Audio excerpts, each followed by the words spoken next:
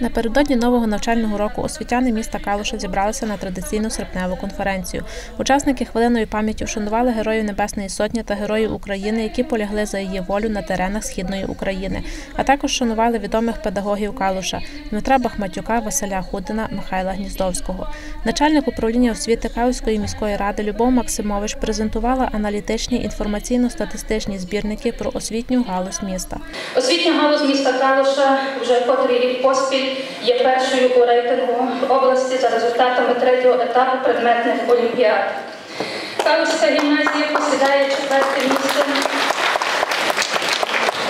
загальноосвітніх навчальних закладів України за результатами зовнішнього незалежного оцінювання 2015 року з української мови і літератури за підсумками, підведеними Українським центром оцінювання якості освіти.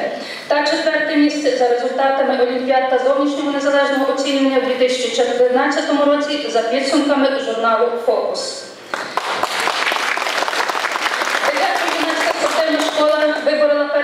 В області серед спортивних шкіл системи Міністерства освіти і науки України і є провідною в регіоні. Попри здобутки, головний освітянин Калуша наголосила і на проблемах. При зростанні кількості дітей у дошкільних навчальних закладах кількість груп не збільшується. Це говорить про те, що у нас е, е, значно більша кількість дітей, які перебувають в навчальних закладах, і на 100 місцях виховується на сьогодні приблизно 150 дітей. Е, Відсоток охоплення дітей п'ятирічного віку у нас вже впродовж багатьох років виконується в повному обсязі і становить 100%. За рахунок відкриття дошкільних груп у е, загальноосвітній школі номер 3, 8 і 9.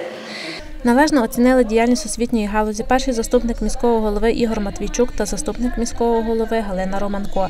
Зокрема, Калузька гімназія за четверте місце за результатами ЗНО 2015 року з української мови та літератури отримала ноутбук.